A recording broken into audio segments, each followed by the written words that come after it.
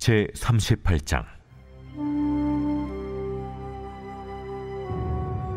마따니 아들 스바데와 바스우리 아들 그다리아와 셀레미아의 아들 유갈과 말기야의 아들 바스후리 예레미야가 모든 백성에게 이르는 말을 들은즉 이르기를.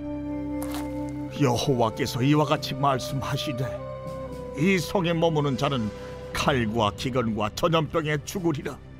그러나 갈대아인에게 항복하는 자는 살리니 그는 노량물을 얻음같이 자기의 목숨을 건지리라.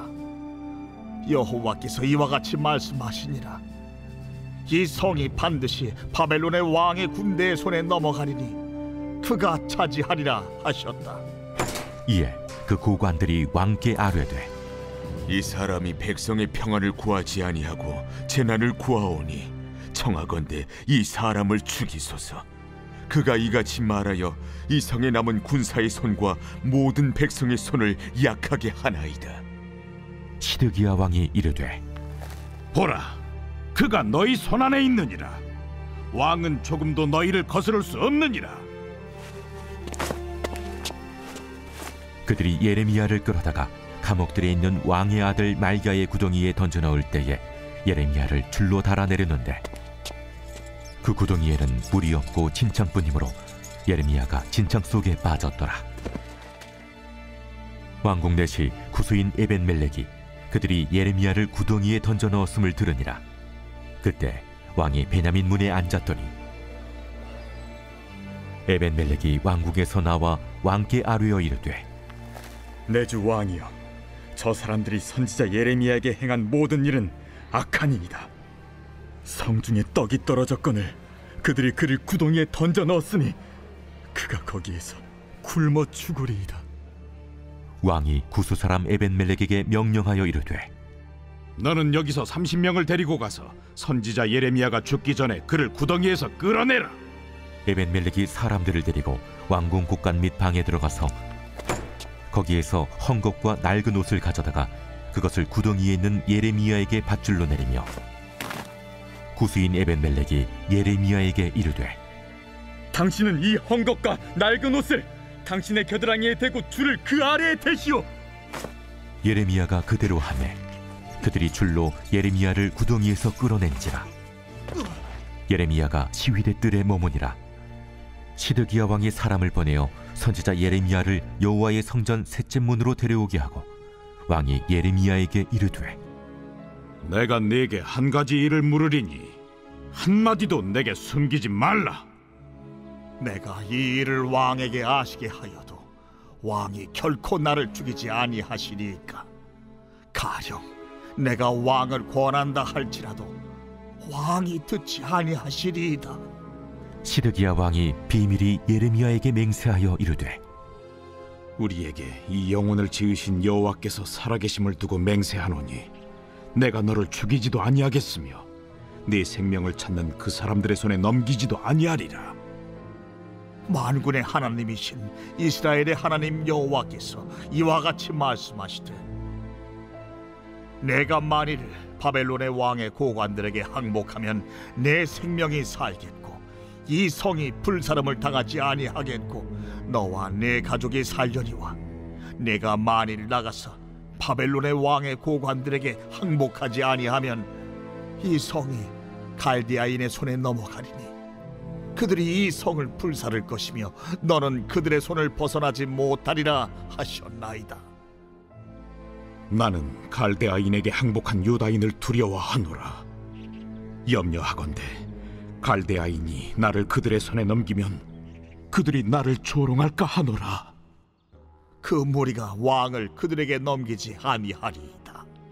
원하옵나니 내가 왕에게 하랜 바 여호와의 목소리에 순종하소서. 그리하면 왕이 복을 받아 생명을 보전하시리이다. 그러나 만일 항복하기를 거절하시면 여호와께서 내게 보이신 말씀대로 되리이다. 보라, 곧 유다 왕국에 남아 있는 모든 여자가 바벨론 왕의 고관들에게로 끌려갈 것이요 그 여자들은 내게 말하기를 내 친구들이 너를 꿰어 이기고 내 발이 진흙에 빠짐을 보고 물러갔도다 하리라. 내 아내들과 자녀는 갈대아인에게로 끌려가겠고 너는 그들의 손에서 벗어나지 못하고 바벨론 왕의 손에 잡히리라. 또 내가 이 성읍으로 불사람을 당하게 하리라 하셨나이다. 너는 이 말을 어느 사람에게도 알리지 말라. 그리하면 내가 죽지 아니하리라. 만일 고관들이 내가 너와 말하였다 함을 듣고 와서 내게 말하기를 내가 왕에게 말씀한 것을 우리에게 전하라. 우리에게 숨기지 말라. 그리하면 우리가 너를 죽이지 아니하리라. 또 왕이 내게 말씀한 것을 전하라 하거든 그들에게 대답하되 내가 왕 앞에 간구하기를 나를 요나단의 집으로 되돌려 보내지 마소서 그리하여 거기서 죽지 않게 하옵소서 하였다 하라. 모든 고관이 예레미야에게 와서 물음에 그가 왕이 명령한 모든 말대로 대답하였으므로 일이 탄로되지 아니하였고 그들은 그와 더불어 말하기를 그쳤더라. 예레미야가 예루살렘이 함락되는 날까지 감옥들에 머물렀더라. 제 39장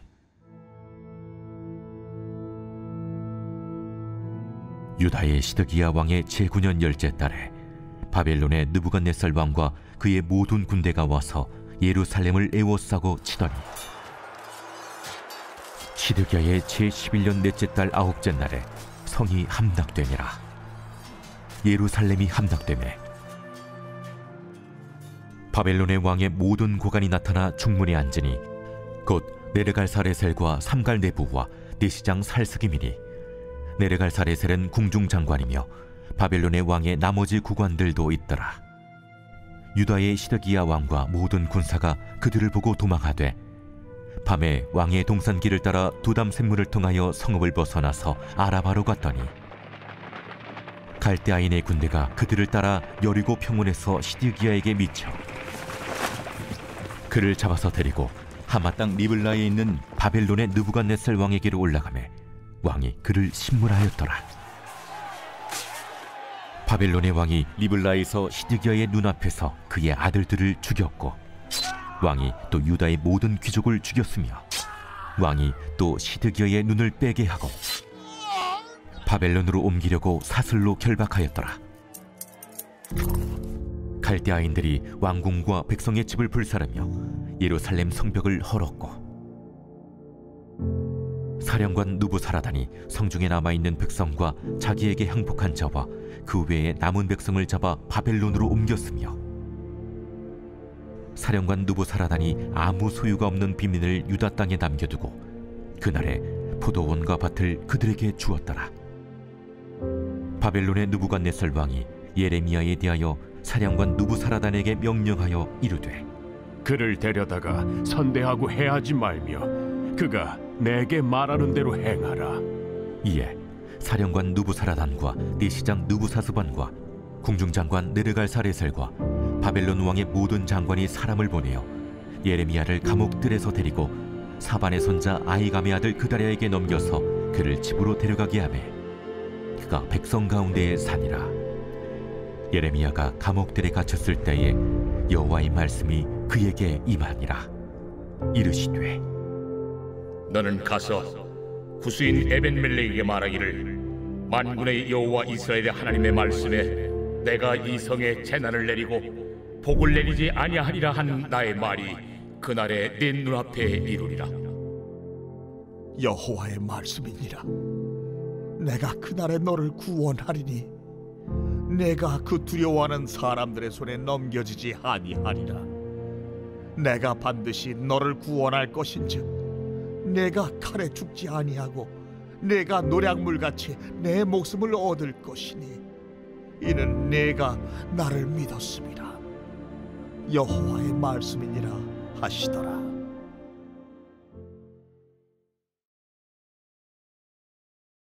제 40장.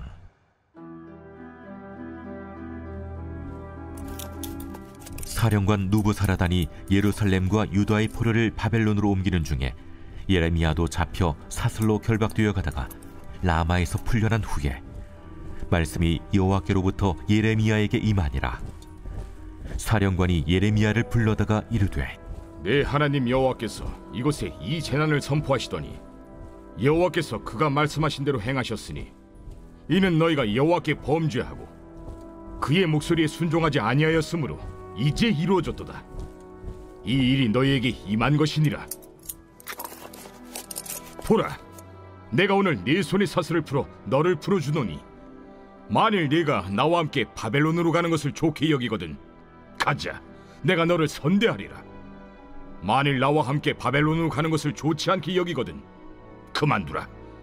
보라, 온 땅이 네 앞에 있나니 네가 좋게 여기는 대로 옳게 여기는 곳으로 갈지니라.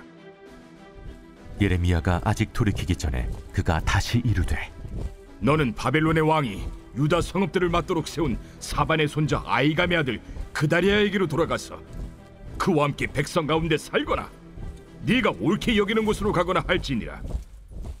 하고 그 사령관이 그에게 양식과 선물을 주어 보내매 예레미야가 미스바로 가서 아히감의 아들 그다리아에게로 나아가서 그 땅에 남아 있는 백성 가운데서 그와 함께 사니라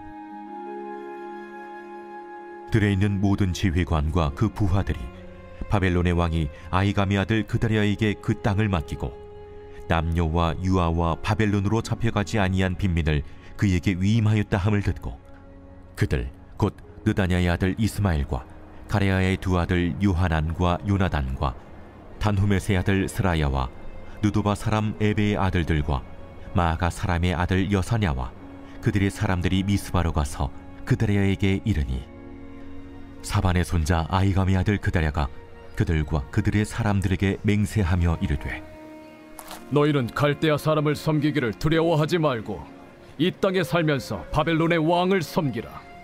그리하면 너희에게 유익하리라. 보라, 나는 미스바에 살면서 우리에게로 오는 갈대아 사람을 섬기리니 너희는 포도주와 여름 과일과 기름을 모아 그릇에 저장하고 너희가 얻은 성읍들에 살라. 모압과 암몬 자손 중과 에돔과 모든 지방에 있는 유다 사람도 바벨론의 왕이 유다에 사람을 남겨둔 것과 사반의 손자 아이감의 아들 그다랴를 그들을 위하여 세웠다 함을 듣고 그 모든 유다 사람이 쫓겨났던 각처에서 돌아와 유다 땅 미스바에 사는 그다랴에게 이르러 포도주와 여름 과일을 심히 많이 모으니라. 가레의 아들 요하난과 들에 있던 모든 군 지휘관들이 미스바에 사는 그다랴에게 이르러 그에게 이르되 암몬 자손의 왕 바알리스가 내 생명을 빼앗으려 하여 느다냐의 아들 이스마엘을 보낸 줄 네가 아느냐? 하되 아이감의 아들 그들에가 믿지 아니한지라 가리의 아들 요하난이 미스바에서 그들에게 비밀이 말하여 이르되 청하노니 내가 가서 사람이 모르게 느다냐의 아들 이스마엘을 죽이게 하라. 어찌하여 그가 내 생명을 빼앗게 하여 내게 모인 모든 유다 사람을 흩어지게 하며 유다의 남은 자로 멸망을 당하게 하랴. 그러나 아이감의 아들 그들에가 가레의 아들 요하난에게 이르되 내가 이 일을 행하지 말 것이니라. 내가 이스마엘에 대하여 한 말은 진정이 아니니라. 제 3권 제 73편 아사베 시 하나님이 참으로 이스라엘 중 마음이 정결한 자에게 선을 행하시나 나는 거의 넘어질 뻔하였고 나의 걸음이 미끄러질 뻔하였으니 이는 내가 악인의 형통함을 보고 오만한 자를 질투하였음이로다. 그들은 죽을 때에도 고통이 없고 그 힘이 강건하며 사람들이 당하는 고난이 그들에게는 없고 사람들이 당하는 재앙도 그들에게는 없나니 그러므로 교만이 그들의 목걸이요 강포가 그들의 옷이며 살찜으로 그들의 눈이 솟아나며 그들의 소득은 마음의 소원보다 많으며 그들은 능욕하며 악하게 말하며 높은 데서 거만하게 말하며 그들의 입은 하늘에 두고 그들의 혀는 땅에 두루 다니도다.